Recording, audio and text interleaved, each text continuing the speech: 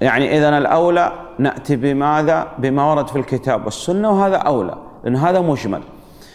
وبالأمس أخذنا قاعدة. قلنا كل ما لم يرد في كتاب ولا سنة إثباته ولا نفيه لا نثبت ولا ننفي. ونسأل عن المعنى. الجهة هنا. هل الجهة نثبتها لله أو ننفي الجهة عن الله؟ نقول هذه اللفظة لفظة جهة لم ترد في كتاب والسنة. لا إثباتا ولا نفيا. فماذا نصنع؟ لا نثبت ولا ننفي ونسأل عن المعنى ماذا تريد بالجهة؟ قال أريد بالجهة إثبات علو واستواء وفوقية. حقيقية تليق به سبحانه وتعالى. نقول هذا حق لكن لا تتكلم إلا بما جاء في الكتاب والسنة. أثبت العلو والفوقية والاستواء. نعم.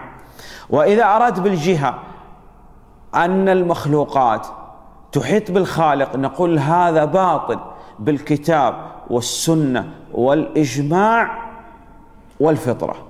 مفهوم؟ أي نعم. وانتهى الباب. ولله الحمد والمنة.